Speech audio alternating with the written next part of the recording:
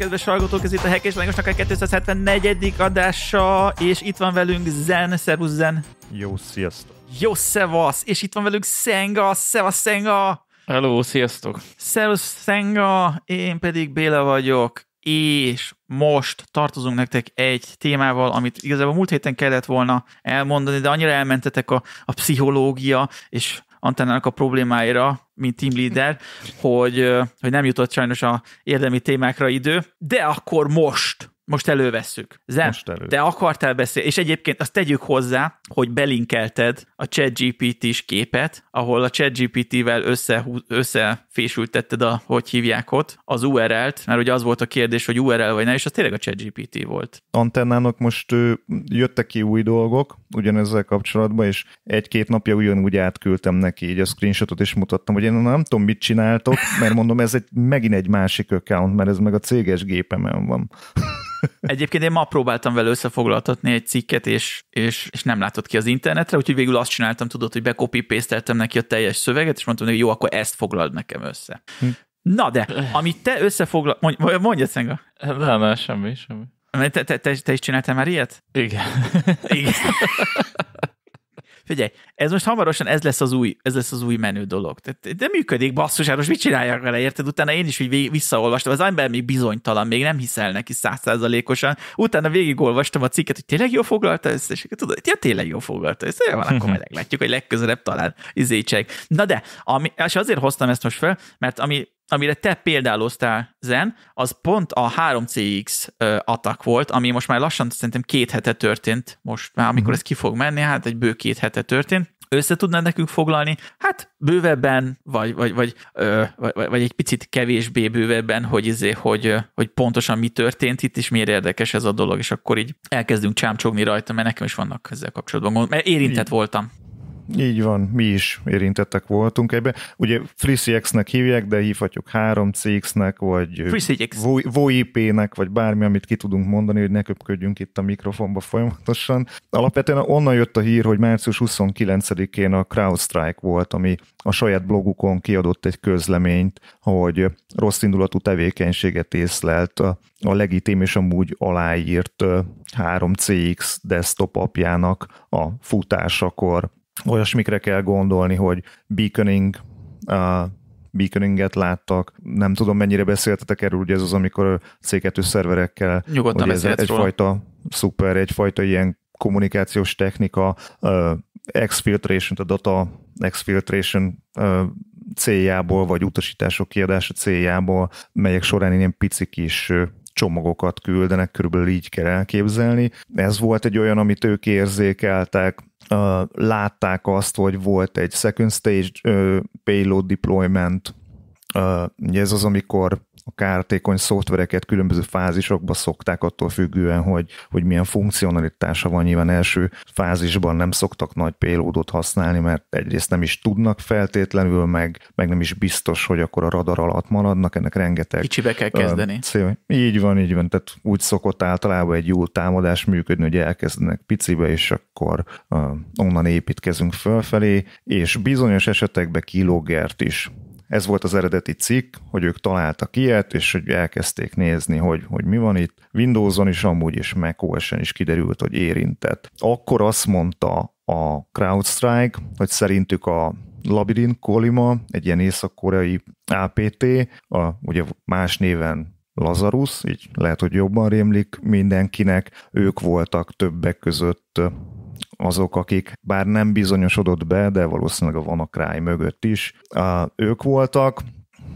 Azért nagy dolog ez, és majd picit fogunk erről beszélni, mert supply chain attack történt, és hogy azért ez nem mindegy, ez nem olyan, mint amikor arról beszélünk, hogy valahol ransomware támadás történt, vagy, vagy ilyesmi. A, amúgy nem ez volt az első ilyen, amikor úgymond ilyen VoIP cég ellen támadás történt, mert pár évvel ezelőtt volt ugyanígy, amikor a mm, Free, a PBX könyvtárnak egy sérülékenységét használtak, és azt használta hogy az egyik cég. A, ugye itt alapvetően úgynevezett IPPBX cégről beszélünk, az azt jelenti, hogy IP Private Branch Exchange, tehát vagy VoIP rendszerek BBX rendszereknek a fejlesztésével foglalkoznak, hogyha valakinek ez a 3CX nem rémlik, akkor mondjuk az avaja, vagy... Ezt akartam mondani, én, én nem ismertem ezt a 3CX-et, ezt én mm. életemben nem hallottam, én amikor először láttam a hírek között, nagyon gyorsan vá,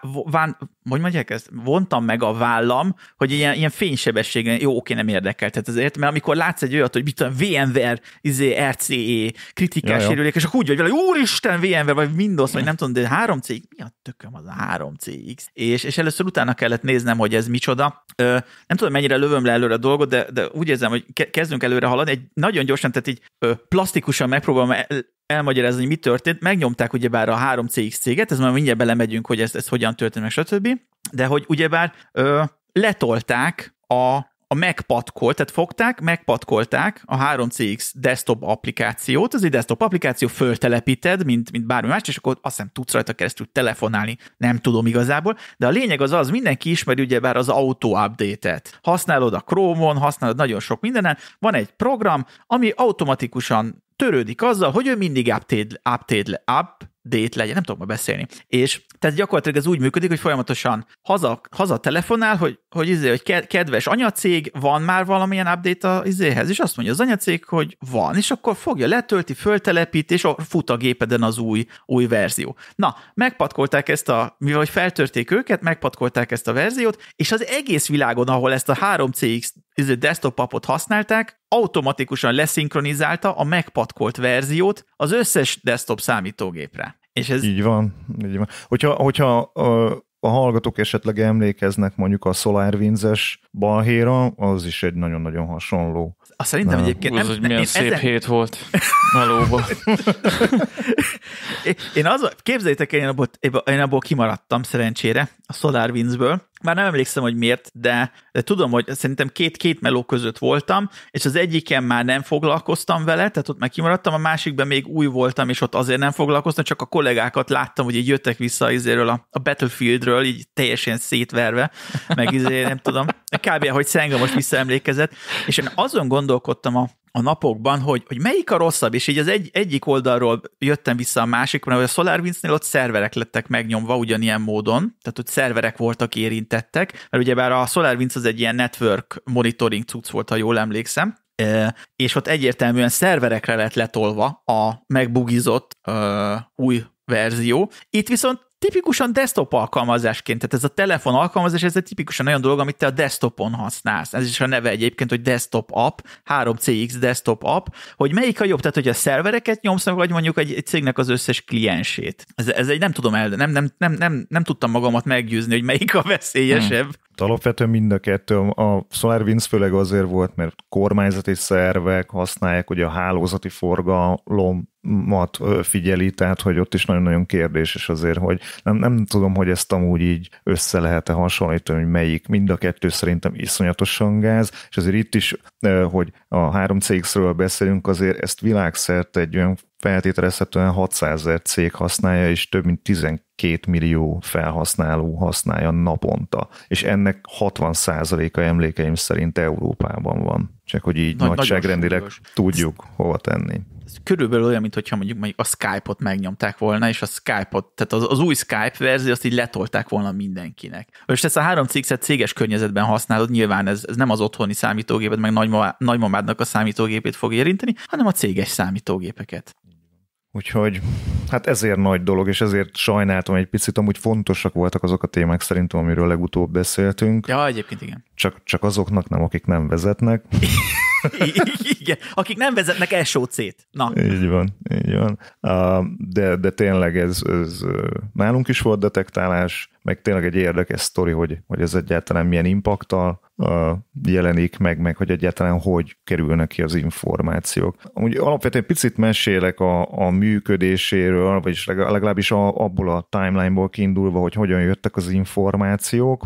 Alapvetően, ahogy Béla is mondta, már magát a desktop appot ö, hogy mondjam, az abba injektálták a kezdeti kis shell kódjukat, arról majd kicsit mesélek, hogy mennyi információ van jelenleg arról, hogy, hogy ez hogy történt, tehát maga a 3CX-nek a megtörése, mert azt legutóbb is említettem, hogy a Mandian dolgozik rajta, tehát még nincsen a teljes report kint, tehát nem tudjuk teljes mértékben, hogy mi történt. És ez volt az a shell ami Windows-on betöltötte az FFmpeg-nek a DLL-jét, és az pedig beolvasott egy ö, ugyancsak RC4 enkriptált kódot tartalmazó kis ö, ugyanígy malicious D3D compiler 47 DLL-t, lesznek ebben még cifrább dolgok, tehát azért látszik, hogy agyaltak rajta, hogy hogy rakják össze. Várjál, csak akkor, akkor tehát egy, egy security életéből egy, egy, egy pillanatkép. Képzeljük el, Béla reggel kell föl, jön a kávéjával, jó, nem iszok kávét, de mondjuk jövök a izémmel, jövök, jövök a, a, a piámmal, leülök a gép elé, rohadt álmos, vagy oh, szóra már megint dolgozni kell, minden. Nyitom ki a konzolt, látom, na nézzük, mik vannak itt, ah, FFmpeg DRM, történt az FFmpeg jó, nem érdekel, majd később megnézem. Tehát ez a, és akkor utólagosan egy nappal később, amikor így olvastam a 3CX történetet, és tudod, így, így a FFmpeg oh fuck, ez volt az, ami, ami ja igen, reagál, igen, megyek, reagálok gyors, gyorsan a dologra, mert akkor Do- így, így félretoltam, hogy jó, hát akkor ez most engem annyira nem érdekel ez a dolog. Dobok egy bombát így előre, hogy amikor megkapta a 3CX azt, hogy figyelj, valószínűleg nem oké, okay, majd beszélek arról is, hogy timeline-ban ez, ez, ez körülbelül hova tehető, akkor ők megfogták, föltöltötték a vírus totára, nullát dobott ki, ezért azt mondták, hogy pozitív. Hát jó, ez hát jó, így... jó munkás, jó, figyelj, most mit tudsz vele csinálni? És képzeld el, szegény szervizdeszkes megkapja ezt a hírt, mit, mit tud vele csinálni? Nincs esetlegesen security szakemberük ott a környéken, hát megpróbálja az első legjobb dolgot a, a virus föltenni. Ez, ezek után lesz, nem tudom, hogy a logika mi benne, tehát hogy a támadó az ugyanúgy fel tudja tölteni a vírus totára. Nem tudom, hogy ezt így végig. Sőt, valószínűleg azért, hogyha ilyen célzott támadás van, akkor hihetetlen, de meg is tudják venni azokat a szoftvereket. Hmm. Igen. Na mindegy. Szóval jó van, megvan a shell kódunk, már van mindenféle ugye másik DLL-be lévő enkriptált kód, és ugye ott tartunk, hogy, hogy ebbe, ebbe a D3D DLL-be ott vannak szépen enkriptálva a kódok, nyilván ez dekriptálja az FFmpeg DLL, utána pedig meghívja a DLL Get Class Object függvényt bizonyos paraméterekkel, Szerintem ebbe azért annyira nem kell belemenni, vagy maximum teszünk bele linkeket, vagy Google-t mindenki tudja használni, nagyon-nagyon érdekes cikkek vannak, egy-kettőt ki fogok különben emelni, mert vannak nagyon-nagyon érdekesek, hogy ez valakit mélyebben érdekel. Mindenki és írt róla most. Azért mondom, hogy hát csak nem mindegy, hogy szakmailag milyen Éj, szinten. Tehát van azért egy-két olyan oldal, akik főleg a macOS részébe elég szépen elkezdték szétszedni, de amúgy a Windows-osat is, mert ez folyamatosan ment. Tehát amikor kijött a 29-én emlékeim szerint a, a CrowdStrike, akkor még ezek nem voltak kint, és a CrowdStrike is úgy működik, hogyha tehát hogy mondjam, vannak ott is fizetett Intel reportok, tehát ahhoz neked olyan subscription kell, és akkor nyilván az ilyen hogy mondjam, paywall mögött van, vagy nem tudom, hogy mondják, tehát hogy ezek nem voltak publikusan kint ezek az információk. És ebben az az érdekes, hogy miután ugye meghívja a, az objektet, meg megvan a két DLL-ünk, meg dekriptálja benne lévő kis kódot, az pedig következő lépésben a, a GitHubon volt egy repo, az Icon Storages, abból letölt ICO fájlt, aminek a végén, tehát maga az ICO fájloknak a végén volt egy base64 enkódolt és egy AS GSM enkriptált adat.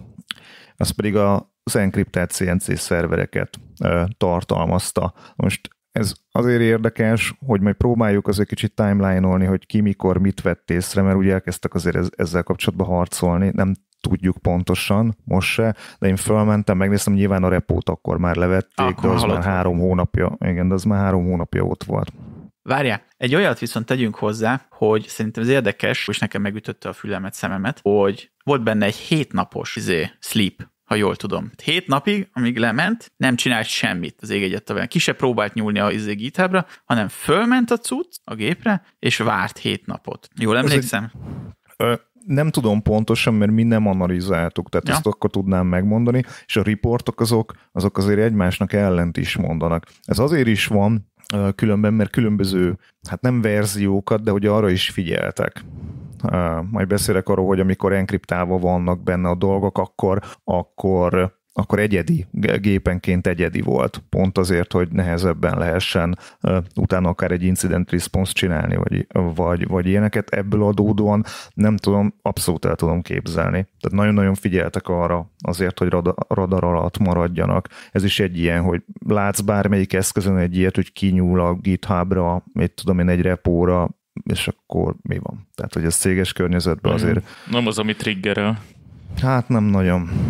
Nem, hát a, a rendes infrastruktúráknak a használata szerintem ez egy nagyon jó dolog, és ez, ez egyre jobban, tehát mit tudom, NPM, izé, GitHub, ezek egyre jobban használva lesznek. Tehát azt raksz ki rá, amit akarsz. Akár egy Twitter posztot is, tudod, Twitter posztra rakod ki a CNC kommandokat, meg nem tudom mit, és ha valaki arra jár, akkor úgy néz ki, mint egy, vagy YouTube kommentekbe, és a többi ilyen helyekre nagyon-nagyon okos dolgokat lehet csinálni. Azért mondom, vagy tényleg az, hogy be, belerejted egy képbe, ugye Stego, enkódolod benne, ki, kiveszi észre tehát, és, és tehát, hogy azt, azt még egy, egy jó NTA se fogja megfogni, hogy hey, hello, kinyúlt a GitHubra, talán a beaconinget, azt igen. Itt is azért mondom, hogy nyilván a machine learning módulja meg ilyenek fogták meg a crowdstrike és onnan kezdték el látni, feltételezhetően, mert erről azért olyan komoly print screenek nem voltak, tehát az érdekelt volna, tekintve, hogy nekünk is van CrowdStrike-unk, és ő szerettem volna megnézni. Na mindegy. Amúgy ez a repo, ez 2022. december 8-án lett létrehozva, és az, utolsó update-et azt március 16-án kapta, csak azért mondom, hogyha egy fejben timeline-olunk egy kicsit. Hát én olvastam olyat, hogy azt feltételezik, hogy valószínűleg már valahol 2022-ben meglettek nyomva, de nem, nem, tehát nem cselekedtek azonnal. Tehát ugye bár itt nyilván foothold, meg stb., tehát itt nagyon sok minden történt, de, de már 2022-ben megtörtént a nagy esemény. Igen, igen, igen. Oké, tehát akkor most megvannak már ugye CNC szervereink, és uh, uh, ugye megvannak a Base64-es stringjeink, a CNC doméneket tartalmazók, ugye amelyikre a shellcode majd a payloadot tudja, hogy, hogy kell, onnan kell letölteni, a értelemszerűen ezeket majd dekódolja, és jöhet akkor a second stage. Ez mondom még, ez, ez abban a reportban van benne, ami az első, ami kijött. A Sentinel van volt az egyik így leggyorsabb ezzel kapcsolatban, a másik meg a CrowdStrike, CrowdStrike volt az első. Várjál, erre volt egy mém egyébként, és én megmondom őszintén, amikor mondtad, hogy a CrowdStrike volt az első report, én ezzel meg voltam lepődve, mert én láttam olyan mémeket, hogy, hogy hát gyakorlatilag a Sentinel van látta először, de egy false pozitív volt. Tehát, hogy felismerték valahogy a 7-zip fájlt false pozitívként, és, és ezért néztek bele végül a Sentinel vannál, hogy ó, mi, mi ez a cucc, de igazából egy false pozitívból indult ki ez az egész, csak pont jókor jó helyen néztek, de akkor szerintem ez párhuzamosan több, ö, több céget is triggerelt, például a CrowdStrike-ot. Figyelj, ez, ez egy olyan, hogy nyilván ilyenkor próbálnak a security vendorok versenyezni, hogy ki volt a legtökösebb. Onnantól kezdve, hogy tudod, hogy mit kell keresni, és vissza, Annak, akkor igen. lehet, hogy már megtalálod, és szerintem sokan ezt csinálták. A BlackBerry is adott ki. És azt, hogy tényleg látták, tényleg nem látták, Na, jó Isten tudja, igen. Igen, azért mondom, hogy, hogy mondom, a crowdstrike kapcsolatban is kicsit óvatosabb lennék, de nem kizárt, hogy ők ezt, ezt hát biztos, sőt nem is az, hogy nem kizárt, hanem biztos, hogy látták, csak nem biztos, hogy olyan módon, mint hogy mondják. Mindegy. A, mondom, ez abból indulok ki, hogy nálunk van CrowdStrike is, meg Sentinel van is többek között, mindegy. Szerintem ez kicsit timeline-ban, meg, meg maga az, hogy hogyan kapták el, az már másképp volt. Alapvetően utána különben utolsó lépésnek pedig jött a tényleges funkcionalitás, az, az első fázisban, vagy az első riportokban úgy gondolták, hogy ez csak egy infostíre volt, a, amely alapvetően olyan adatokat gyűjt, a, a, miután megnézte ez is egy ilyen érdekesség, hogy maga a desktop folderében van egy config JSON file, és utána pedig ilyen rendszerinformációkat, hostname, domain name, OS verzió, milyen böngésző van fönt, a böngészőkből származó adatot próbálta kinyerni. A Firefox alapú böngészők esetében ez magába foglalta a böngészési előzményeket, mármint annak a lekérdezését, a Chrome-nál is, a, ugye a historyból, és ezek alapján tudott valószínűleg további stage-ekben végrehajtani lépéseket. Az Apple-nél annyit tudtunk eleinte, hogy mind az ARM és mind az Intel alapút érinti.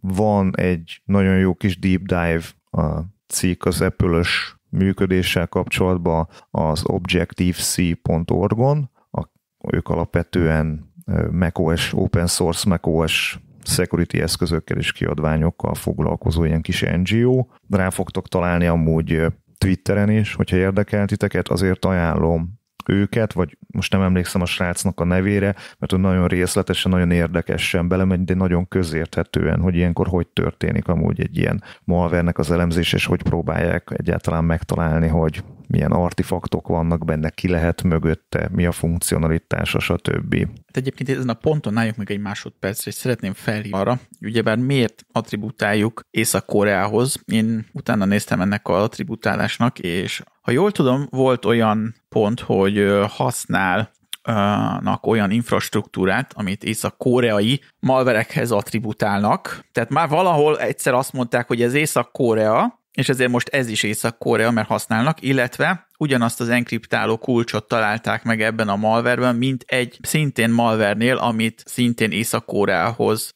enkriptálnak, egyébként ö, enkriptálnak, hülye vagyok, ö, attributálnak, tehát ö, ezt senki nem tudta volna befékelni ezt a dolgot, ezeket a dolgokat, tehát hogy, hogy Észak-Koreára terelje a gyanút, tehát ezek, ez, ez, szerintem ez megint kicsit hogy is fogalmazok, gyenge lábakon áll ez az attribútálás, de nekem ez a veszőparipám, hogy hogy nekem ez, ez általában gyenge, tehát nyilván valakire rá kell mutatni, biztos, hogy egy, egy, egy APT csoport volt, mert ugye ebbe tartozik, de hogy most pont Észak-Korea, na mindegy. Szóval ez egy... Hát az, az Észak-Koreát azt elég biztosan lehet mondani, a, a csoportot azt nem. És onnan lehet különben tudni, hogy később kiderült, hogy backdoor is volt benne, és abból már lehetett, meg a CNC szerverekből mert voltak olyan régebbi támadások, amiknek már, amik jól riportolva vannak, és így próbálják összekötni, és így tudsz csinálni egy, hogy mondjam, ilyen geolókot, hogy legalább körülbelül hova azt nem tudjuk, hogy a Lazarus volt-e. De ezek ugyanúgy azért mondtam, mint a vannak rájánál, és tudjuk? Nem tudjuk. Sejthető? Hát azért, meg ilyenkor azért beszállnak nem, ugye az amerikai három betűsek is, meg elég sok mindenki az ilyen balhékba, és nekik egy, hogy mondjam, ugye a profilozásra egy picit beszéltünk, egy picit más típusú metadatokhoz férnek hozzá, mint mondjuk, nem tudom, egy... Á, jó, de hát ezeket a CrowdStrike indítja el először. Tehát érted, ők, ők, ők, ők, ők lövik be általában ezt a dolgot. Tehát nincs az, hogy utána jön a, a, az FBI és azt mondja, hogy e, a crowdstrike azt mondták, hogy éjszakra, e, e, e, ne, ne, tehát én ilyet még nem láttam. Tehát általában van egy, van egy privát kézben lévő cég, akinek vannak security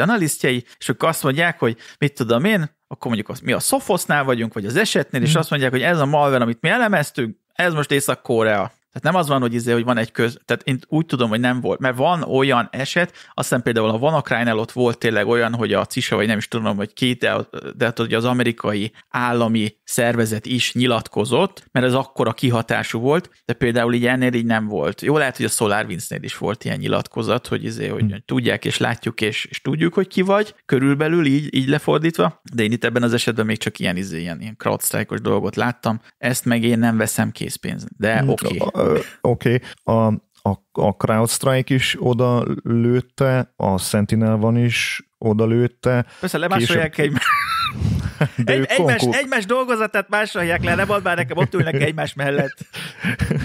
Konkurensek, ez nem így megy. A Kaspersky, amikor kijött a riporttal, akkor ők, mond, ő, ők voltak talán az elsők, akik mondták, hogy hát nem csak infostealer van benne, hanem van benne egy backdoor, amire ők azt mondták, hogy a GoPuran backdoor van benne, hmm. a, amit már régebben használtak észak-koreai csoportok, és ezért ők is azt mondták, hogy valószínűleg a Lazarushoz köt, köthető, mivel nekik volt egy régebbi a, a hogy mondjam, egy régebbi analizálások, vagy egy régebbi report, ahol több backdoor is volt, és ott volt mellette. Na de itt jön be az, hogy mondjuk most már kijött a kezdetleges Mandiant uh, report is, oh, tehát fönn van a... Még nem van, láttam. Fönn van a három CX-nek az oldalán, tehát most már azért próbálnak transzparensebbek lenni, nincs ezzel semmi, tehát ez, ez hát egy Tudjuk, hogy hogy rossz... mentek be? Az már kiderült? Hát az, még, az, még, az nem derült még az ki. Nem derült ki. Hogy hogyan, de ott, ott is látható, most nem fogok részletesen végigmenni, akit érdekel, az tényleg ott olvas el, de, de ők is találtak benne backdoort, és azt mondták, hogy ez nem a Gopuram, de hogy nagyon-nagyon hasonló. És CNC szervereknél is a Mandiant az felsorol ötöt, és abban van már olyan, ami 2020 októberében lett beregisztrálva, és már tudunk olyan tényleges támadást, ahol hmm. azt használták. Van olyan, ami amúgy a másik kettő, azt hiszem 2022 április, a másikak meg február, vagy valahogy így, ezt mondom csak timelining miatt mondom, hogy március végén jön ki a CrowdStrike report, és hogy körülbelül mikor történhetett a 3CX támadás. Ti érintettek voltatok? Sem megerősíteni, sem száfolni, nem tudom azt a kérdést. Jó, akkor másképp mondom, hogy ha érintettek, lett, érintettek lettetek volna, akkor lett, milyen, milyen lett volna az incident response nálatok? Van erről körülbelül is belátásod? Szerintem biztos, hogy gyors és hatékony lett volna. Gyors, gyors és hatékony. Ja, akkor nem voltatok érintettek ezek szerint. Hát nem azért mondom, mert akkor mert biztos vagyok benne, tehát hogy ezért, na majd mindjárt, mindjárt, mindjárt, mindjárt megmondom, hogy mi, mi, mi van. Na mondja. Zen, te? Mond. Ne, ne, csak azért kérdezem, nektek, ti, nektek volt olyan, hogy mondtad, hogy érintettek voltatok, tehát mit tudtatok nem, ezzel csinálni? Olyan. Tehát mi, mi, a, mi a teendők ilyenkor szerinted? Legalábbis ti mit csináltatok? Vagy mit ajánlasz akkor? Nem azt mondod, hogy mit csináltatok, hogy mit ajánlasz akkor? Na. Smith Wesson. Hát uh, nálunk az, az volt a jó, idézőjelesen, hogy az adott ügyfél, ahol, ahol ez volt, ott volt CrowdStrike, tehát azt láttuk, hogy blokkolta, és ami még nagyon-nagyon jó, hogy most nagyon szívesen hát, mesélnék. Nem három ezelőtt. De itt jön be, ugye, hogy hál' Isten az incident response meg nem nálunk van. Nagyon helyes. Hát ez az ő, ő dolga. Hát figyelj, uh, igen. De, de visszanéztem külön a CrowdStrike logokat, és mert hogy te is mondtad, egy update elmegy fel, és most nem tudok pontos napot mondani, de szerintem 29 előtt mi se láttuk. Igen. De, de a, a CrowdStrike tuti, hogy tudott legalább, most nem tudom mikor jött ez ki, hát nem tudom, milyen 20-21 körül, mert tuti, hogy tudott róla, mert azt láttam a logokba, hogy tud API-on próbálja izé pingelni, hogy van-e Igen. ott. Aha, tehát most ezt nem tudom De a timeline-ban. De most a vagy a izét? Mert, mert nekem nem, az magát, volt... a, magát, a, magát a futatható állományt. Na, nekem nagyon nagy mákom volt egyébként. Uh, a, a mi környezetünk az érintett volt, olyan tekintetben, hogy van egy, hát mondjuk úgy, hogy 50 vagy 100 ezer gépes környezetről beszélünk, és ebből 16 gépen volt rajta a 3CX-nek a szoftvere, uh-huh. úgyhogy azért ez egy, ez egy relatíve kis cuki kis érintettség, tehát ez, ez egy olyan dolog, amivel úgy könnyen lehet dolgozni, ez egy országban volt, egy irodaház, ahol gyakorlatilag ezt használták a 3CX-nek ezt a szoftverét, úgyhogy gyakorlatilag annyi volt a, annyi volt a az utána nézés, hogy megnéztem, hogy ugye mert az, az egyik ilyen első pont az az, hogy mondjuk kimegy a GitHubra erre a speciális GitHub ö, címre, hogy lehúzza magának a következő lépéshez szükséges információkat. Rohadt nagy mákunk volt, mert ö, mert nem volt ide kommunikáció az elmúlt fél évben. Tehát meg egyszerűen fogod, megnézed a proxy logokat, volt ide kommunikáció, nem volt kommunikáció. Cső. Ennyi van. Ezt az, ezt az URL-t nyilván blokkoljuk, bár ilyenkor igazából ez már lefutott történet, de az volt, a, az, volt az érdekes, hogy maga a 3CX-nek a, a vezérigazgatója, CEO-ja, nem tudom, azt, azt hiszem az volt, nyilatkozott a saját fórumokon, hogy ő azt ajánlja, hogy inkább uninstalláljátok ezt a desktop appot. Tehát ez a szedjétek le, nem tudjuk, hogy mi történt, nem tudjuk, hogy mennyire van már, nem tudjuk, hogy mennyire vagyunk biztonságban, szedjétek egyszerűen le, ott van egyébként a, a webes változat állítólagosan, ami ugyanazt a, a feature setet tudja, kompromitálás nélkül, tehát óne kompromitálás, és használjátok azt userek, nem is érte egyébként, hogy miért használják emberek még ezt a desktop appot, mert ott van a webes, 2.0, 3. web 3.0-ban vagyunk gyerekek, egyszerűen ki az, aki még itt a desktop appokat telepítget a kőkorszakban, szedjétek le ezt annyi. Úgyhogy egyébként nálunk is ez volt, hogy ö, végül igen, tehát mivel hogy az egész világon körbe mentek a hashek, amik, amik ugyebár jó cég, ö, ezeket kell blokkolni, még a, még a Klámávé is megkapta ezeket, ezeket a szignatúrákat, ezek, mi, ezek mindenhol felpoppoltak, ugyanígy nálunk is felpoppolt, amit mondtam az előbb, hogy jött reggel az FFmpeg DLL, na mi az Isten lesz, hagyjál már békém. Biztos valaki valami izé, megpatkolt izét, videoplayert, le, letöltött VLC-t, vagy nem tudom mit, na mindegy, és, és utólagosan ezeket, nálunk szerencsére ezek automatikusan blokkolva lettek, tehát ezek, tudod, felugrik, oké, okay, blokk, karantén, nem érdekel, tehát onnantól kezdve ez a Szóval megnéztük ezeket a dolgokat, és miután láttam, hogy igazából nem volt egy, tehát 16 gép közül egyiktől se volt kommunikáció a problémás domének irányába, legalábbis amiket ismerünk. Innentől kezdve ez úgy volt, hogy jó, akkor hogy hívják, akkor ezeket nyilván dózeroljuk ezeket, a, ezeket az applikációkat. Jó, volt egy, volt egy diskurzus azon, hogy mondjuk a gépeket is dózeroljuk, de ezek annyira, hát hogy is fogom, azok unkritikusak voltak ezek a gépek, ezek mit tudom én, ilyen recepció, meg ilyen hülyeségek, tehát egy semmi extra nem volt, és végül végignéztük őket, nem találtunk rajtuk semmit, úgyhogy végül úgy döntöttük, hogy hagyjuk őket először is, meg hagyjuk a történetet kibontakozni, mert ez így körülbelül másnap történt, amikor először kijöttek ezek a hírek, bekerültek ezek az IOC-k a, a security-s véráramba, és fel, elkezdtek felpopolni ezek a dolgok. Azóta se volt egyébként semmi új ilyen tekintetben. De hát ez, erről a 15-16 gépről, nem tudom már mennyi, de 20 alatt ezekről le, leszhettük ezeket a 3CX applikációkat, és igazából boldogan élünk tovább. És igazából nem is volt ez annyira félelmetes a számomra, mert a, tehát hogyha egy APT van mögötte, ők pontosan tudják, hogy kiket tám akarnak támadni, például Észak-Koreában. Tehát kik, kik lennének a fő, fő targetek, mit tudom én, állami szervek, bankszektor. Jó, nyilván lehet ezen, lehet ezen gondolkodni, hogy, hogy milyen, de az a szektor, amiben, amiben én dolgoztam, nagyon kicsi volt a valószínűsége annak, hogy ennek az APT csoportnak mi ö, targetei lennünk, és hát nem is volt ö, semmilyen kommunikáció, CNC kommunikáció, mert hát ezzel lehet gondolkodni, hogy, hogy hát nem érdemes mindenhol beaktiválni a malvert. Tehát oké, okay, hogy letol, letol, letolod mindenhova, mert másképpen nem tudsz malvert osztani, tehát megbugizott verziót, tehát mindenkinek le kell mennie az esetek többségében, de nem kell, hogy mindenhol fusson ez a malver. Ugyebár meg lehet maradni kicsiben, és csak ott, ugyebár a, a klasszikus, a Stuxnetnél is ez úgy volt, hogy, hogy mindenhol, ahol nem atomerő, igen, atomerőmű volt, vagy urándúsító volt, ott nem csinált semmit. Tehát én nem akarok itt semmit se csinálni, és csak akkor aktivizálta magát, amikor, amikor olyan, olyan helyen volt, hogy na igen, megérkezt. Adj, adj még ötleteket nekik. Igen, ez, ez, ez amúgy te, teljesen jogos. A másik részével kicsit óvatosabb lennék, mert nem tudjuk, még mindig jönnek ki a hashek is, a CNC-k is, a nem tudom mi, hogy hogyha ténylegesen végiganalizálták a malvert, akkor majd jobban fogjuk látni, meg amikor főleg a Mandiant Report is kijön, akkor ugyancsak, mert hogy pont amikor, a, a, ugye mondtam, hogy a, a Mac-es verziómnak jobb elérhető riportja van a, a malware analízisnél, és azért látszik, hogy ott is dolgoztak a statikus elemzés, gátló kódok voltak benne, akik ezeket is meg tudjátok, string szorolás, meg, meg hogy ő módosító kód, meg kamu kód, meg kódfragmentálás, meg mit tudom én mi, dinamikus elemzésnél is egy csomó mindent használtak, ilyen anti-debug technikákat, nincs teljes lista arról, különben, de azt tudom, hogy például a hardware breakpointot tuti, hogy detektál, van benne ilyen time check, és úgy elszállt nagyon-nagyon sok mindent. Amúgy a, a GitHub linkkel kapcsolatban is az van, hogy ha azt nem éri el, akkor ott kész, ott eldobja magát még ott Igen. a Facebook-nál, amikor a két DLL-ről beszéltünk.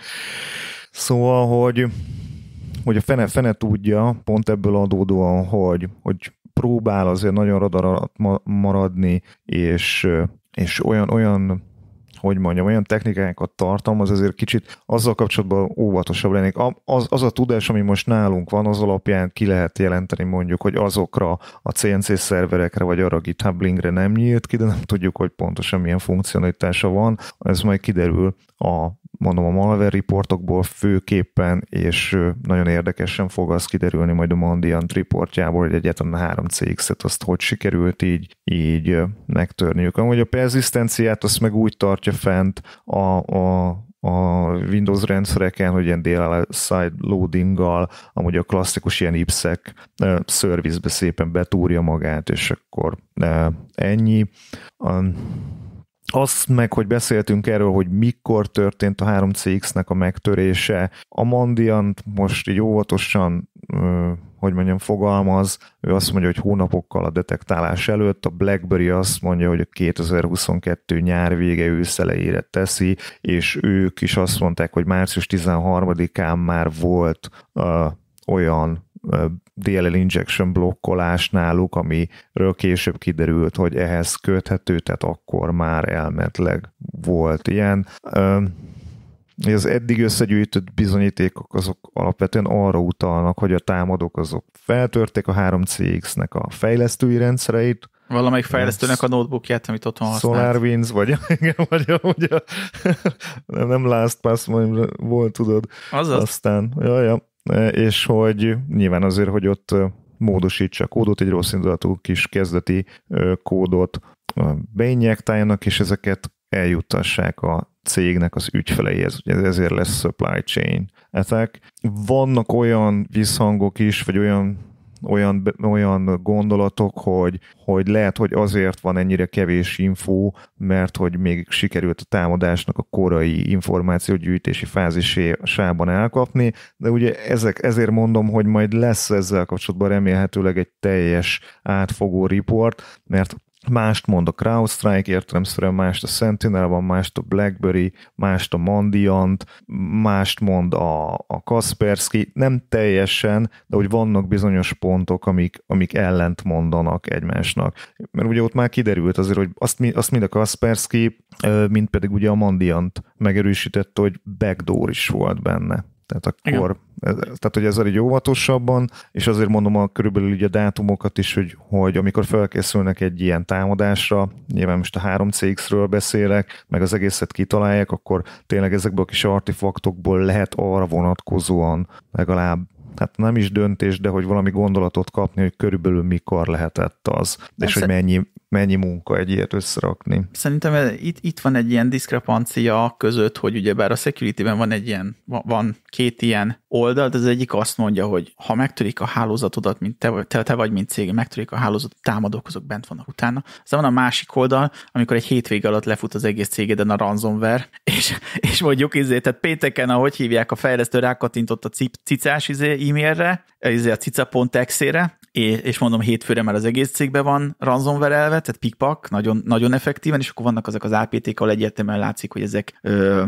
ilyen, hát nem azt mondom, tehát ilyen szervezetten működnek, nagy, nagy, nagy projektek vannak, stb., és ott nyilván ott, ott lépésről lépésre haladnak, és hát ott tényleg sok időt eltölthetnek egy hálózatban. Na de, ö, most ezt a három cégszet egyelőre most így levágom, mert ö, Hát ugyebár még várjuk az infókat. Szerintem aki körülbelül tudni akarja, hogy mi van, az most így elég jó képet kapott. Ez arról, volt a három cégszadás. Ez volt a három cégszadás, de én még szeretnék beszélni Magyarországról egy kicsit Szengával, mert még van egy bő 15 percünk, szerintem, és érdemes azért e- ezt a, ezt a témát is végigjárni, mert azért Magyarországon is voltak ö, események, állami ö, kémkedéssel kapcsolatban, és ugye egyébként ez is egy, ha, ha azt nézzük, a 3 cx is valószínűleg egy ilyen állami kémkedést, mivel ugye, ugyebár Észak-Koreához tulajdonítjuk.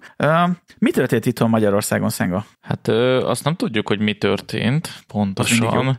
Ugye itt is azért vannak voltak a hasonlóan az előző sztorihoz. Arról jelent meg egy cikk, hogy a Citizen Lab egyik friss elemzése szerint itthon nálunk Magyarországon is találtak olyan szervereket, ami, amely a Quadream nevű izraeli kémszoftvert üzemelteti. Magyarországon kívül Bulgáriában, Csehországban, Gánában, Izraelben, Mexikóban, Romániában, Szingapurban, az Egyesült Arab Emírségekben és Üzbegisztánban találtak még a Citizen lapos nyomozók ilyen nyomokat. Ö, több mint öt személyt, újságírókat, ellenzéki politikusokat és egy NGO-nak a munkatársát figyelték meg Észak-Amerikában, Európában, Ázsiában és a közel-keleten, viszont a célszemélyeket egyelőre még nem nevezték meg. Szóval nem lehet azt tudni, oh. hogy például volt egy magyar célpont, vagy egyszerűen arról van szó, hogy itt is van egy ilyen üzemeltetési szerver, amivel kommunikál ez a szoftver. Ja, hogy csak egy szerver van Magyarországon, ami... Igen. Izé. Igen, De azt szóval... feltételezni, hogy ide jó lenne. Tehát, hogy ez olyan, mintha raksz egy, raksz egy wifi routert a, a, nem tudom, a hátsó szobába, hogy könnyebb legyen az internetezés. Hát, jó kérdés amúgy, hogy ez mit jelent a gyakorlatban, mert én azt gondolnám, hogy ez feltételezheti azt, hogy ez a szoftver ez általunk is megvásárlásra került, és hogy úgymond ez egy ilyen hivatalosabb szerver, szóval nem, nem gondolom azt, hogy itt a Józsika panel negyediken üzemelteti, és annak találták meg a nyomait, de ez, ez egy feltételező, szóval ennél többet nem tudunk mondani. Magáról a erről a Game Software-ről annyit árultak még el, hogy valószínűleg az iOS 14-hez készült egy ilyen zero click uh, exploit uh, tel települ, egész pontosan egy láthatatlan iCloud naptár meghívót küld ki a az áldozatnak a, a telefonjára, és azon keresztül ugye mellőzve mindenféle emberi interakciót települ a, a telefonra, úgy fertőzi meg a céleszközt. Akkor ezek iPhone-ok konkrétan. Ez, igen, igen, igen, úgy tűnik, kicsit sértve érzem magam, hogy itt a fontos embereknek ezek szerint biztos, hogy iPhone-ja van. Nincs iPhone-od. Nincs iPhone-od? Engem most semmilyen telefonja nincs. Ú, hát és na, arra még nem is beszéltem a logbookban, látod. Na mindegy, van, csak egy down, csak downgrade-elni kellett egy öt évvel ezelőtti. Nokia Igen, most egy 33-10-esen megy a Telegram. Na mindegy, úgyhogy nagyjából ennyit tudunk, ez nem sok. Ez, ez annyira nem sok azért. Ez annyira nem sok, itt nyilván az lesz az érdekes, mikor a neveket ő, nyilvánosságra hozzák, hogy konkrétan kik voltak a, kik voltak a targetek, és ott egy nagy kérdés, hogy hogy van-e, van-e magyar target, bár most ugye a, a report szerint öt emberről beszél, úgyhogy nem, nem feltétlen biztos. Ugye miután tudjuk, hogy a Pegasus is működött nálunk, és használták, innentől kezdve nem lenne annyira meglepő, hogyha lenne még egy ilyen fegyver is a tárban. Egy másik. Tehát van egy hát piros, meg van egy kék is. Igen, tehát igen, igen, igen. Azon gondolkodtam, hogy tételezzük fel, és képzeljük el azt a majd, hogy nem elképzelhetetlen realitást, hogy mi van akkor, hogyha, én ezt a, hogyha ezt a szoftvert a rendőrség mondjuk, vagy a, izé, a Nemzetbiztonsági Szakszolgálat bűnözőknek a megfigyelésére használta. Ez is kiderülne, hogy érted, egy bűnözőt, egy terroristát, egy, egy valószínűleg egy terroristát figyeltek, mert ugyebár, tehát azért lássuk be, ezek erre vannak. Így van. Hivatalosan. Tehát amikor megrendeled, akkor, akkor nem, azt, nem azt írod oda, hogy a, az ellenzéki politikusok, meg a nem tudom kiknek a megfigyelésére válasz, mert, mert nem, nem, érted, van, vannak, van ennek a cuccnak valódi ö, felhasználási köre is. Meg Igen, hát, az elmélet az ki van találva nagyon jól, a gyakorlat az sajnos nem csak Magyarország esetében, hanem sajnos többi más ország esetében is Dél-Afrikában is egy rakás visszaélés van vele kapcsolatban a banán köztársaságokban. Hát azért Igen. Amerikában is volt egy-kétszer már, amikor kiborult a Billy, tehát ez ja, volt egy ilyen is. gyerek is. Hát nem tudom, igen. Tehát ha valaki, lehet, hogy már nem emlékszünk rá, de hogy... ez régen ide... volt, hallod? Nézzek, mikor Azóta volt a Snowden. biztos nincs ilyen. Ja, ja azóta már abbajták a fejlesztést, úgy voltak, hogy oh, oké, okay, lebuktuk, kész, vége, egy, nem, éri, nem éri meg ezzel foglalkozni, ezzel a dologgal most már. Igen, hát van, van ilyen. De akkor, akkor ezek szerint azért annyira ba, nagy baj nincsen, tehát nyilván megvan a potenciál, de akkor nem le, most már nem lepődünk meg azon, hogy van egy ilyen kém szoftver itt a, a, a világban. Hát most már nem.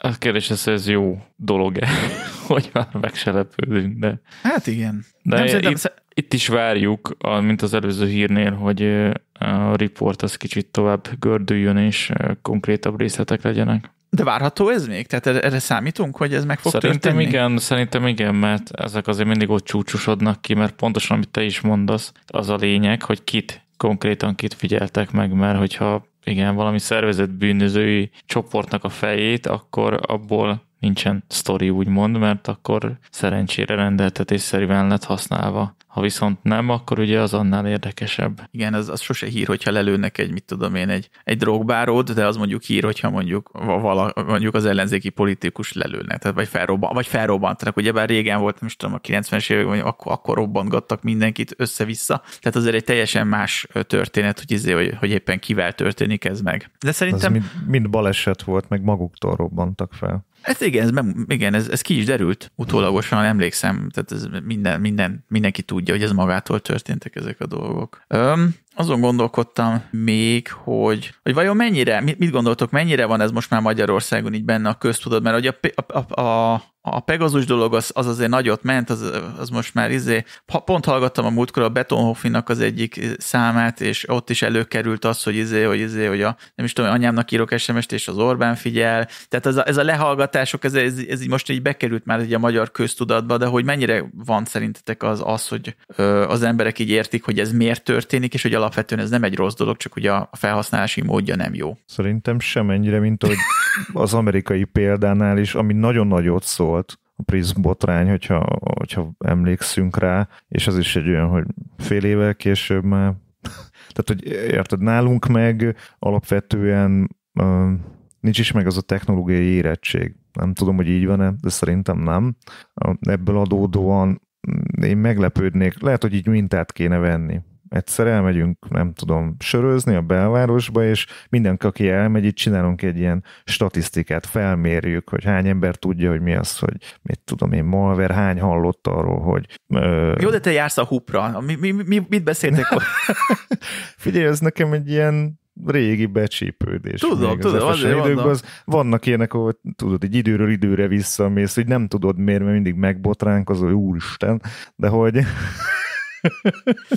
ott ilyenekről nem, nem nagyon beszélnek, nem, nem. lehet, hogy erről beszéltek, de hogy nem volt konkrét szakmai diskurzus, abban azért elég biztos Aha. vagyok. Szerintem az, hogy lehallgatás, meg ilyenek, azzal nagyjából mindenki tisztában van, inkább a kivitelezéssel nem, mert is mondjam, nálunk történelmi gyökerei vannak, annak, hogy a polgárokat lehallgatják, meg megfigyelik. Mondhatjuk Ilyen... hagyománynak Igen, hagyomány. Ugye ez az, amit, amit a mai napig szerintem nagyon nehéz levetkőznie a, a nemzetbiztonsági szolgálatoknak, hogy azért sokan még úgy tekintenek rájuk, mint, mint egy ilyen ellenségre a, az államon belül, és hogy, de szóval, hogy a, a lényeg, hogy a lehallgatás, mint olyan, szerintem most sokan tudják, de hogy pontosan itt a Pegasus, meg az ehhez hasonló kémszoftverek egészen elképesztő szintre emelték ezt, mert ugye itt nem arról van szó, hogy lehallgatják a telefonbeszélgetéseidet, hanem arról, hogy abszolút plain textbe látják a te magánéletedet. Szóval szerintem ezzel nincsenek sokan tisztában, hogy az, hogy régebben erre volt ilyenfajta technikai képesség, hogy ha én a, most akár, még csak nem is a mobiltelefonom, annó vezetékesemen beszéltem, azt le tudták hallgatni, hogy oké, okay, le tudják hallgatni a, tele, a mobiltelefonos beszélgetéseimet, azért az főleg ma már egy töredéke az én kommunikációnak. Szóval ma pontosan az üzenetküldők, a, a Telegramtól kezdve, nem tudom én milyen platformokon kommunikálunk, szerintem telefonálni telefonunk a legkevesebbet, vagy hogy hangban beszélünk talán a legkevesebbet a másikkal, az izgalmas dolgok azok inkább írásban mennek. És ugye ezek a kémszoftverek többek között ugye ehhez adják át a kulcsot. Tulajdonképpen ugye olyan, mintha az én telefonomat odadnám a másiknak. Feloldom a, az árat, és azt mondom, hogy itt van, olvashatod a Viberem, a Telegramomat, belenézhet az e-mailembe, a hívás listába, és így tovább. Szóval szerintem itt a mértékkel nincsenek tisztában, hogy ez mennyire drasztikusan megváltozott az elmúlt évtizedekben. Szerintem nem csak ez. Tehát nagyon sokan még technikai emberek is tudatában vannak, de lesöprik az asztalról, és azt mondják többek között, hogy hogyha nincs mitől félned, nincs mit rejtegetned, akkor nincsen gond. Ezért szoktam én is ilyen visszalőni ilyenkor, Igen. a klasszikus érv, és ezért Igen. szoktam én is mondani, hogy akkor nagyon jó, add ide a lakáskulcsodat, Igen. add meg a PIN kódodat, meg a, mondjuk a Gmail fiókhoz a jelszót, hát de, hát de most mondtad, nincs Igen. mit rejtegetned, akkor én is végignézem azt valahogy úgy nem szokták meglépni ilyenkor, tehát azért, és itt tényleg mondjuk IT-ba dolgozó emberekről beszélünk. Igen, hát ez egy, ez egy szörnyű érv minden, minden szempontból, igen, hogy nincs sejtegetni való. Ne, hát, nem, nem, nem, azt akartam mondani, az, amit Zen mondott, mint válasz, az egy nagyon jó válasz szerintem. Igen, is. igen, igen, igen, hát az, ez klasszikus, igen, hogy akkor, akkor átnézném az összes fotódat, meg a letöltési előzményeidet, meg mindent, hogyha, hogyha nem probléma. Hát másrészt meg itt szerintem van egy olyan alapvető hozzáállás is, hogy azért az nem jó, hogyha korlátlan eszközöket adunk az állam kezébe. Mert természetesen fontos az, hogy az államnak a bűnöldöző, illetve elhárító szolgálatai rendelkezzenek megfelelő képességekkel, hiszen ez egy veszélyes világ, és nyilván vannak dolgok, amikkel fel kell venni a kesztyűt, csak ugye rossz azt látni, mikor hát ezek a fegyverek nem a jó irányba vannak tartva. És pont az ilyen Pegasusnál, meg az ilyen eléggé heavyweight dolgoknál azt látjuk, nagyon sok országban, nyugaton is bővest bőven, hogy hát sajnos nem arra használják, amire kéne a nehéz tüzérséget, és, és itt van probléma, és ezért sem szabad szerintem ilyen válaszokat adni, hogy hát nekem igazából mindegy, mert szerintem ne legyen mindegy, független attól, hogy nem tudom, nem fognak nálad semmi olyat találni, hogy holnap elvigyenek a börtönbe, ettől még az embernek a magánélet, a privacy amit mindig hangsúlyozunk, azt szerintem szentnek kéne lenni. Elvileg az is, ugye, ha jól tudom, még alaptörvény szintjén is. A magánélet joga a szent és érthetetlen. Nyilván ez nem igaz a bombarombantás szervező potenciális elkövetőkre, náluk ezeket az eszközöket és képességeket használni kell. A kérdés, hogy valóban ott használódnak -e ezek.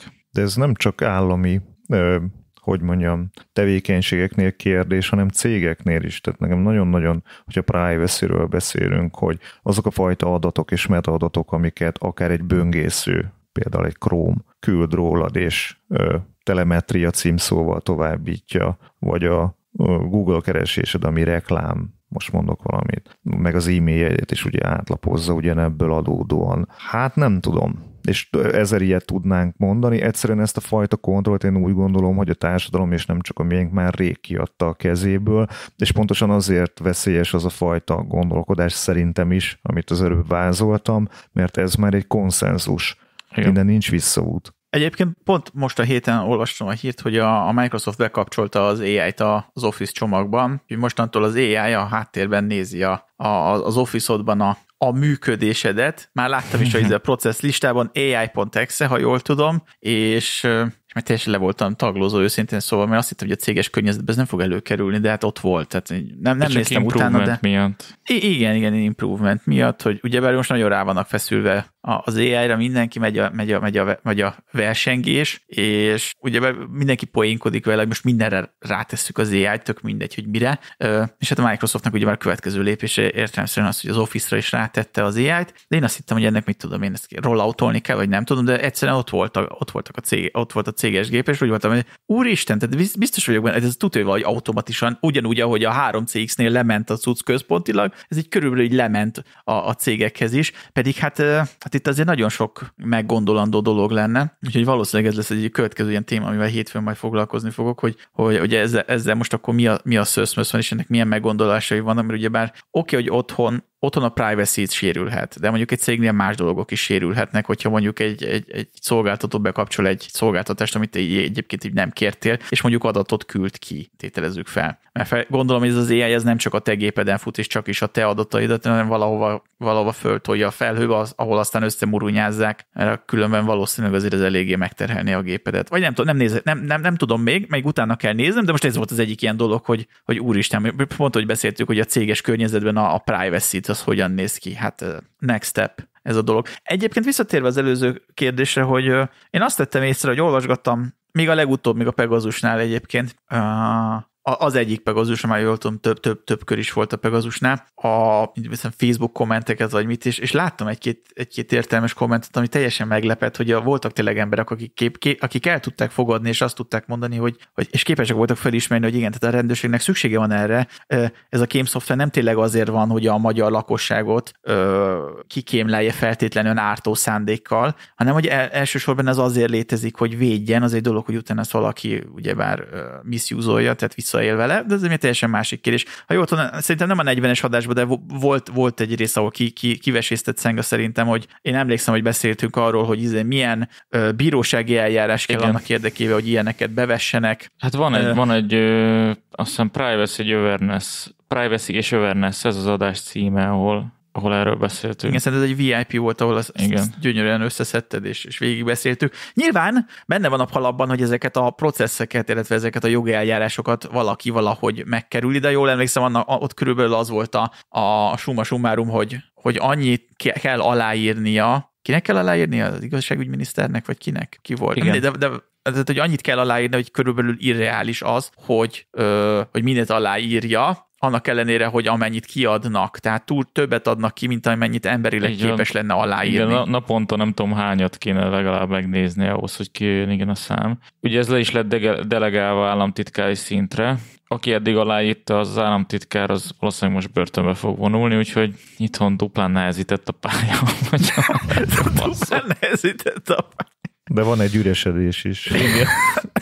Egyben lehetőség az érdeklődőknek. Keresünk valakinek szép az aláírása. Igen. És utána hajlandó börtönbe menni egy pár évre a következő körben. Szóval nekem az volt igazából az érzésem, hogy tehát nekem ilyen pozitív volt, tehát ilyen, ilyen fény, fény volt az alagút végén az érzés, hogy, hogy láttam embereket, akik képesek volt, akik, akik ezt így felfogták, és próbálták a többi embernek így mondani. Jó, nyilván vannak, tudod, a, a begyöpösödött a izé, a, akinek már nem tudod megmagyarázni, de az, a, de az már nem fogja fölvenni az információt így se, úgy se. Ö, aki meg bizonytalan, annak lehet, hogy egy, ezt, ezt, a, ezt az oldalát hallja a történetnek, és akkor már is máshogy néz ki. Nyilván perspektívába kell tenni ezeket a dolgokat, meg kell vizsgálni minden oldalról, ö, meg hogy pontosan mi történt, nem kell, nem kell élből elindi, elindítani az a rakétákat, meg, a, meg az összeesküvés elméletet, ami, ami nyilván elkerülhetetlen, de mindig megtörténik, de, de azért szerintem ez a történet is megmutatja azt, hogy azért nézzük meg, hogy mik történtek, meg hogy miért van ez itt ez a dolog. Meg azért ez, ez, ez körülbelül lehetne ez egy olyan hír is, hogy úristen, ö, mit tudom én, ö, marok lőfegyvereket találtak a rendőrségen. Tehát ez a vel. De épp ez az, hogy nincsen értelmiségi társadalmi beszélgetés erről. Tehát, hogy ilyenkor az kellene, hogy ennek legyen egy fóruma, mondjuk amikor történik egy ilyen, és ott különböző gondolkodásmódú, de amúgy érvelni képes, a másikat meghallgatni képes emberek leülnek, és erről indul egy diskurzus, és csak ilyen clickbait dolgok, pufogtatása van, meg mondjuk mi elmondjuk itt, hogy szerintünk ez így privacy szempontból nem a legjobb, majd jön egy társadalmi konszenzus, aki meg azt mondja, hogy ő ezzel nem akar foglalkozni, nem érdekli, szerintem nem gond, és ennyi, de nincs. Hát, na mindegy, ez az, amikor kicsit már degenerálódik a társadalom, ha szabad ilyet mondani, mert nincsen meg az a az a kulturális háttere, mondom, ez nem egy magyar sajátosság. Ez nem, nem, de az a baj, hogy nem is látom, hogy ez meg tudna történni. Tehát én ezt nem tudom elképzelni azt a, azt a napot, amikor én mondjuk erről lenne egy ilyen, tényleg egy ilyen nemzeti diskurzus, hogy akár a tévében, vagy az interneten, ahol ezt így, ezt így közvetítenék, és meg, meg, meg lehetne hallgatni a különböző oldalakat, tehát ez, ez egy ilyen, ez ilyen skifinek tűnik nekem, vagy nem is tudom. Tehát ez. Már jó mondjuk, tehát hogyha most összehasonlítjuk például, ugye bár Amerikában voltak ezek a nem, ez egy TikTokos dolog, tudod, hogy be, meg a, meg a Zuckerberget is behívták, az egy kicsit ilyen, ilyen színű volt, hogy, hogy egy ilyen nyilvános, meghallgatás, ahol beszéltek dolgokról egyik oldal, másik oldal. Jó, nyilván ott egy ilyen izé volt, egy ilyen kakidobálás volt e, elsősorban, tehát senki nem volt ott azért, hogy azt mondja, hogy hát de a TikTok az mennyire jó. Tehát, tehát a, a pro oldalon ott igazából csak egy ember ült, a Zuckerbergnél is, meg a izénél is, meg a kínai kollégánál is, de, de valami hasonló diskurzus, az egy, tényleg egy nagyon azt jó Azt volna, hogy a kérdező szenátor így bekapcsolja a selfie kamerát, és csinál egy rövid, rövid TikTokot, tudod, miközben megy a, megy a kérdezés. Egy tánci-tánci videót, vagy valami. Igen, egy valamilyen challenge videót ott megcsinál a tárgyalóteremben. Szerintem jó a TikTok.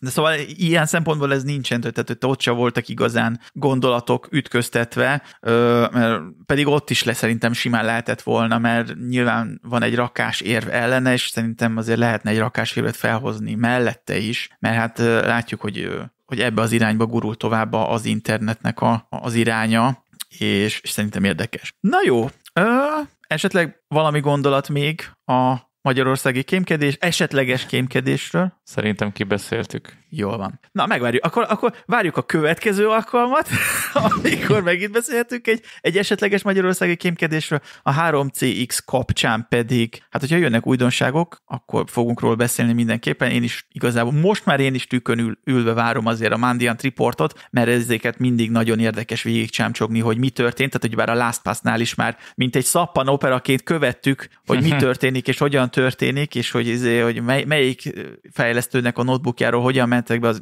az csodálatos történet volt. Még jobb lett volna, ha nem lettem volna érintve. De ja, szóval ha jön, akkor majd foglalkozunk vele. Köszönöm, hogy itt voltatok, pusszantunk mindenkit, szevasztok! Ciao, sziasztok! Sziasztok!